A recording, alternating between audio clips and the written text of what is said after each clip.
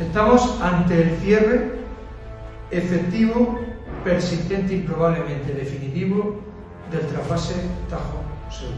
El campo, al final, paga siempre las consecuencias de las políticas irresponsables, temerarias e injustas. Son con mucha diferencia el sector peor tratado por parte del actual gobierno central.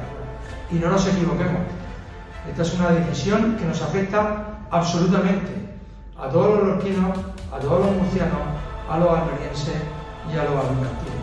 Mientras que en un contexto de crisis internacional provocada por la propia crisis económica derivada de la pandemia y por la guerra de Ucrania, cuando las grandes naciones, los grandes estados desarrollados tienden a proteger sus sectores productivos estratégicos, aquí lo que hacemos es machacarlo y provocar que el suministro de alimentos a España dependa de terceros países.